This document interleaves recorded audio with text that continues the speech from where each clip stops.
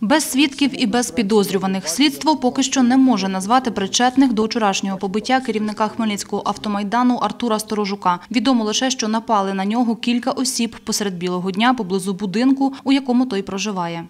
Хто підозрюється, наразі нам невідомо. Поки що свідків події немає.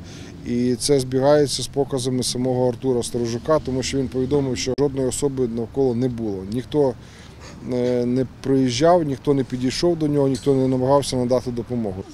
Після вчорашньої події в Артура Сторожука діагностували легкі тілесні ушкодження та струс мозку. Про це говорять його колеги та фото, які він виклав у Фейсбук. Зараз автомайданівець у задовільному стані. Громадські активісти припускають, що напад на Артура Сторожука – це помста за його гострі заяви. За день до події громадські організації зібрали спільну прес-конференцію, де говорили про бездіяльність правоохоронних органів і свавілля місцевих забудовників.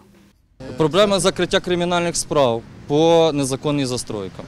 Е, Проблеми е, незаконного е, бару вон АК, який знаходиться поруч з нами. Проблеми з прокуратурою, проблеми з басейном, проблеми з податковою. Ми думаємо, що так, це була помста за цю прес-конференцію.